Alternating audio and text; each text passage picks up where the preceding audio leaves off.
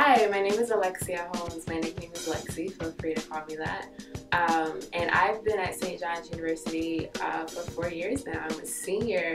My major is accounting. I've been a part of the Career Fair program since my freshman year when the program first started. And it's been an incredible journey to watch the program grow and also to use the Career Center that has helped me grow in my journey as well. And I look forward to sharing that with you.